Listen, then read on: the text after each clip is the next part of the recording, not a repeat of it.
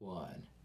Welcome into Coach's Corner. Jordan Woodruff with you, and great to have you along for this episode. And this is a good episode because I'm joined by somebody that, uh, well, I've got to know well since uh, taking the job doing play by play from Ponca. Uh, and uh, she is now the head basketball coach for the girls team after Jody Fincher left for uh, being principal at Liberty Elementary. Mica Estrada with us. And first off, congratulations. Thank you, and thank you for having me. Yeah, it has to be awesome. And I just kind of want to go through. I mean, you were a standout ball player for Ponca City, made the state team back in 2010. Uh, you go to you go to college, you get your psychology degree, you come back, and uh, you end up being the junior high coach.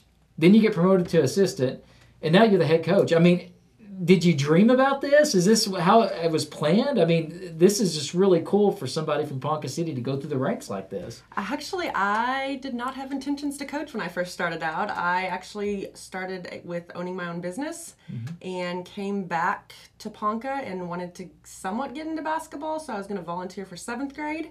And the coach at the time said, Why don't you do eighth grade? And then the rest is history. I just shut down my business to coach more and fell in love with it. Yeah, I, I mean, usually people that coach think they they they kind of have an idea. I would like to do it. So was it just one of those things that it was there, you wanted to do it, and thought I'll try this, and all of a sudden it turned into this? Yeah, yeah, exactly. I just fell in love with it as I got started with it and never wanted to leave after that. Well, what makes you love it so much? The connections with the girls, those relationships you build, um, that competition feeling, that's just something that with sports you, I, I don't think you can recreate. Um, but mainly those relationships and the stuff you get to build with the girls and your other coaching staff and that kind of stuff. Yeah, and to coach now where you played. I mean, I talked to Jacob last week about this. That's a cool feeling. Yes, definitely. So I've always loved Ponca City. Um, so that was kind of in the last few years something I started to kind of think about. And I once I got it, I was like, that is the coolest thing to be able to say. I've been in your shoes. I know where you were. I was in this exact same spot not too long ago. Well, and I think it's pretty cool too because I look at Jacob now. He hasn't maybe been here as long as you have in Ponca City, but he's a former Ponca grad as well. Have you guys talked to each other, and have you? Has it kind of dawned on you this is pretty a cool experience, and now maybe you can share with each other the frustrations, the challenges, and and really, in a way, you can mentor each other even though you're kind of in the same boat. Yeah, it's been it's definitely interesting. You don't hear about that happening very much at different schools. So we've definitely kind of gone back and forth off each other about different ideas and things like that. So it is a neat opportunity we've gotten. Yeah, and I mean, on top of this, I remember uh, over the last season, you welcomed a baby into the world as well, and I thought it was so weird not seeing you on the sidelines and sitting behind the bench with this. Uh, and it seemed like the family was there, really helping you take care of the baby. Which you got back to the bench as quick as you could, though, didn't Yes, you? Yes, I did. That was a hard time to not be able to be there. So I would try to drive to some of the games, and I was always at all the home games. So, but it was it was rough not being able to be there. How, how's the baby doing? He's doing good. Almost five months old. Wow. Yeah. So keeping you up at night. Oh no, he sleeps good. That's He's- good to hear. So I get lots of sleep. So is it your fur? Yes, I have an 11 year old, but it's my Right- first. Right, your fir- biological yeah, yeah. So I know that's special. So it's just really cool this uh, seeing that, and that was kind of a story when it, itself this year.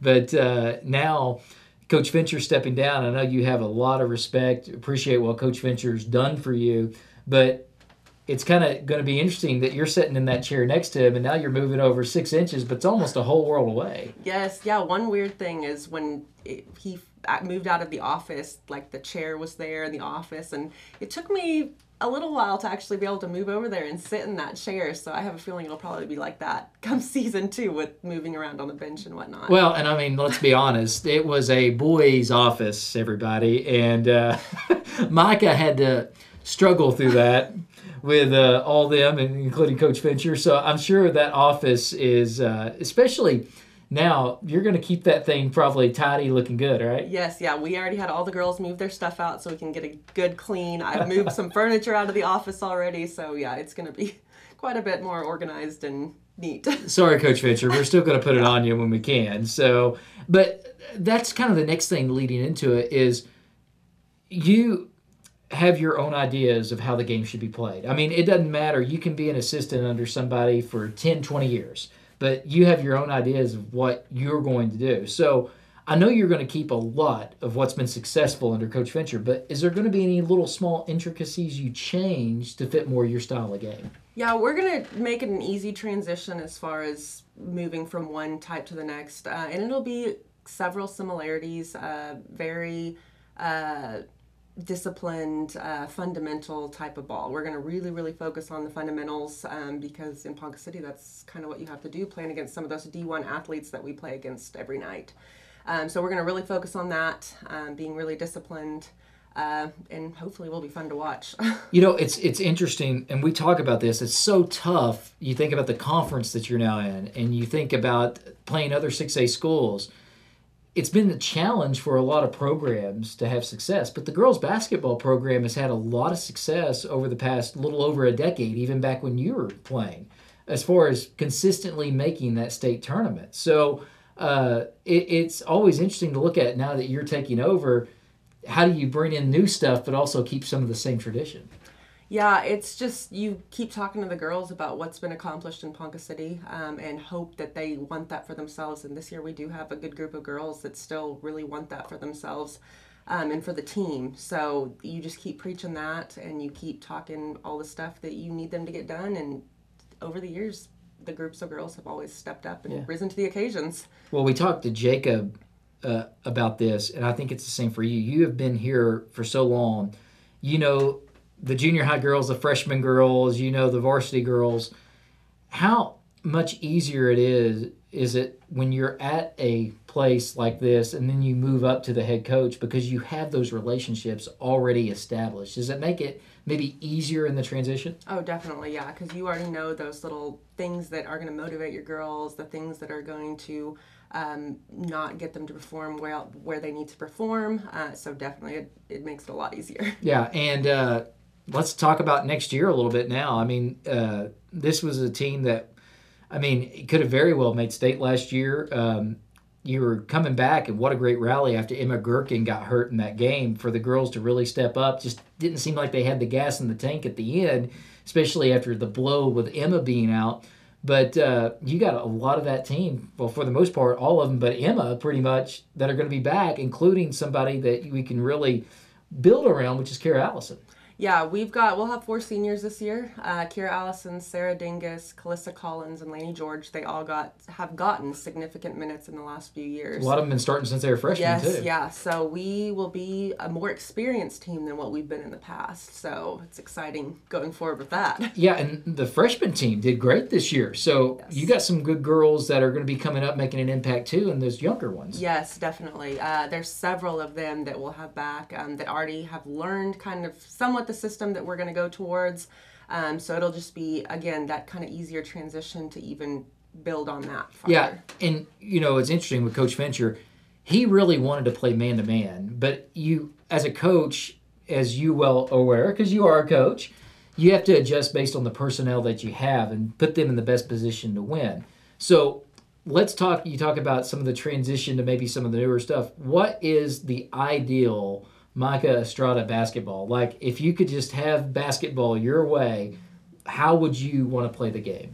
Um, fundamental is the biggest thing. I like watching a fundamental game when the girls are doing what they're supposed to. Um, we are going to really focus on defense, and one thing I do want to do is play more man when we're able. Um, it might be a little ways down the road to learn those like very fundamental man principles and things. Um, but fundamental, uh, very, very uh, eager to like go after the ball, things like that. Uh, just yeah. And in this summer, or what's the plan? I know there's restrictions of being able to be in the gym so much and everything, but for a new coach, I imagine that summer camps or something like that could be very important, right? Yes, and we're going to several. Uh, we're taking our seventh and eighth grade to some, ninth grade, JV to certain ones, and then our varsity. So everybody will be geared up to go different places and get as much work in as we can over the summer. And how important is that to you, being the head coach now, being able to see how those girls, because it doesn't matter if you have a bunch of girls coming back. Every team gels differently each year. You could have everybody coming back, and that year is different just based on where those kids are at. So, how important is that summertime to really be able to analyze and at least get a little glimpse into what you have coming in the fall? It's extremely important. That's one thing I've told my staff so far. I've texted them and said, hey, here's the dates of when we're going. It's not something that I'm going to say you have to go to, but I will tell you it's extremely beneficial to you, to your team because of that exact reason. You've got to learn the quirks of all the girls, what's going to work, what's not going to work, things like that. Yeah, and I think of Coach Fincher and he was a very hard personality at times, right? It was almost a good cop, bad cop at times, mm-hmm, right? Yes. Where you you guys would uh, kind of say, "Hey, it's okay. He's trying to teach you and everything." So now that you're going to the head coaching role, is there going to be an adjustment in your personality since it is on you? Are you you're going to have to find yourself maybe being a little bit harder, trying to get the more more out of them. Like, how are you going to adjust personality wise? Yeah, and I have already talked to the girls a little bit kind of about this, but yeah, we'll have to kind of. It's not going to always be when they're upset or something like that. Sometimes I can't be that person, but we've got good people that'll kind of step up and go into that role. And I'm always going to be my my goal is to be open and upfront with them so they can still come and talk to me when they need to. Um, but yeah, yeah, it'll be a difference.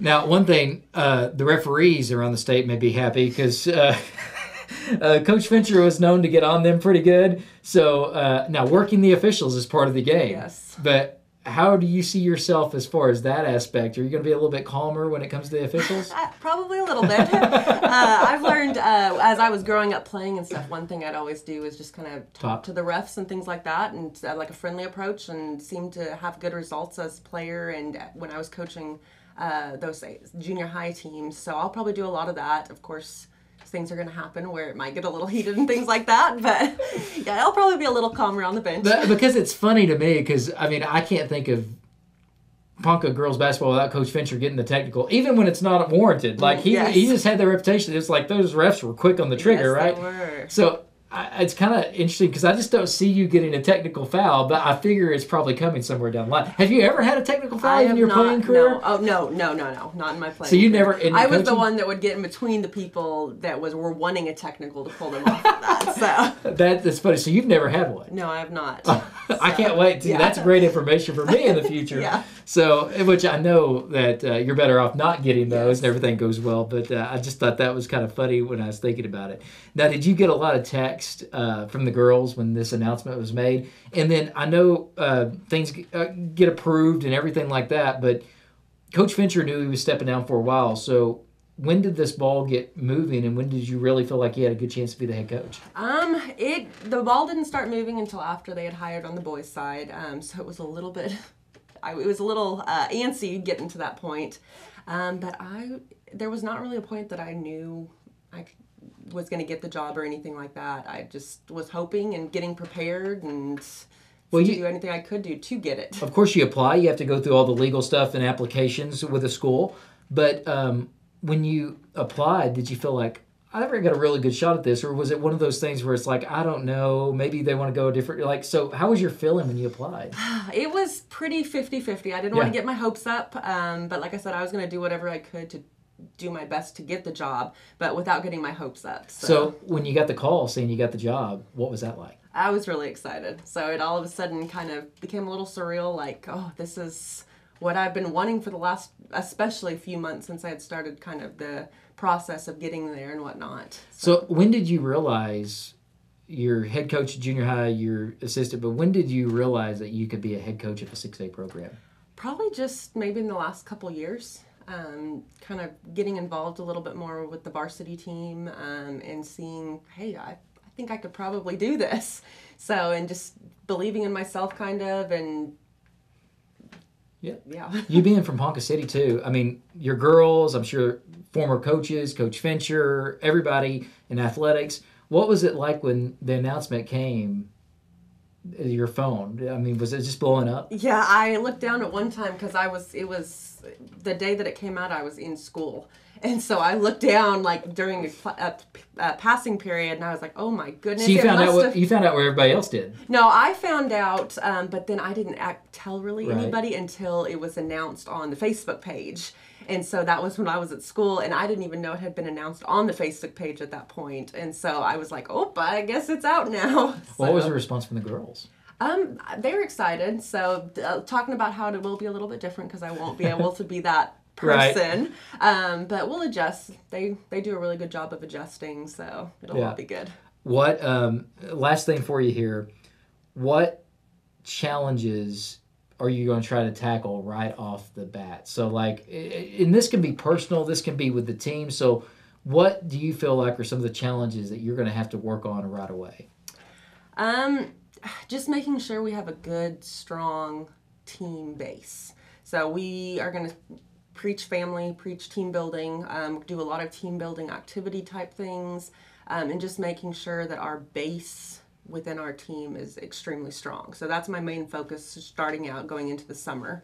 Um, and then right after that, just really drilling the fundamentals in, making sure we're playing very, very fundamental uh, basketball. Yeah. So, new girls basketball coach. I couldn't be happier too. I love the fact that Jacob's the same way. It's people that I've got to know a little bit and love seeing that uh, you guys are promoted to the head coaching job and can't wait to see the future now. And uh, once again, girls basketball left in great hands after what Coach Jody Fincher and the success he was able to have, which you're part of that staff. So, Mica, appreciate your time. Congratulations. I cannot wait to call that game come probably end of November next year. Yes, thank you. Thanks for having me. Mica Estrada, new girls basketball coach. That's going to do it for today's Coach's Corner. Jordan Woodruff saying so long. Until next time, go Cats.